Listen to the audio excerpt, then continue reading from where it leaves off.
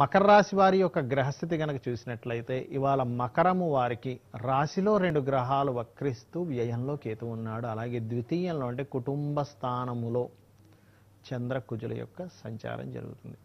ఈ స్థితి అనేటువంటిది ముఖ్యంగా ఏంటంటే కుటుంబీకులతోని ధన సంబంధించినటువంటి విషయంలోని రుణ సంబంధించినటువంటి విషయాలలోని ముఖ్యంగా జాగ్రత్త వహించాలి. అదేవిధంగా మకర రాశి వారికి సప్తమాధిపతి అయినటువంటి చంద్రుడు ఎప్పుడైతే రెండవ స్థానంలో చంద్ర రాహు స్థితి అంటే రాహు యొక్క దృష్టిలో కుజుడుతో ఉన్నాడు. ముఖ్యంగా వివాహ సంబంధించినటువంటి విషయంలో నిర్ణయాలు తీసుకునేటువంటి విషయంలో జీవిత భాగస్వామితో కాస్త జాగ్రత్తగా ఉండేటువంటి అంశాల్లోని మరియు సినిమా ఫీల్డ్లో ఉన్నటువంటి వారు సినిమా ఫీల్డ్లో లేనట్లయితే టీవీ ఛానల్స్లోని కెమెరా రిలేటెడ్ సంబంధించినటువంటి చేసేటువంటి వారు ఇవాళ కాస్త మీరు చేసేటువంటి ప్రతి పనిలోనూ కాస్త జాగ్రత్త వహించండి. అలాగే ఎడ్యుకేషన్ రిలేటెడ్ అంటే స్కూల్స్ కాలేజెస్ ఇవి నడిపేటువంటి వారు ఇవాళ తీసుకునేటువంటి నిర్ణయం ముఖ్యంగా చాలా జాగ్రత్తగా తీసుకోవాలి.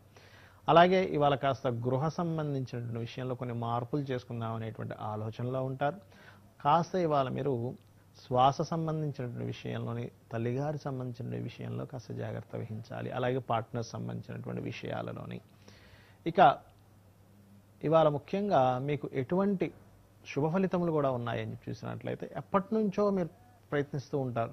కొన్ని విదేశీ సంబంధించినటువంటి విషయాల్లో కొంత ఏదైనా మనకి ఛాన్సెస్ దొరికితే బాగున్ను అలాగే విదేశాల్లో ఉన్నటువంటి ఫ్రెండ్స్ ఎవరైనా సరే మనకి ఒక ప్రోడక్ట్ని ఏదైనా బిజినెస్ సంబంధించినటువంటి విషయాల్లో కాస్త మనకి ప్రోడక్ట్ విషయంలో కొంచెం మనకి ఏదైనా సహకరిస్తే బాగున్ను అనేటువంటిది.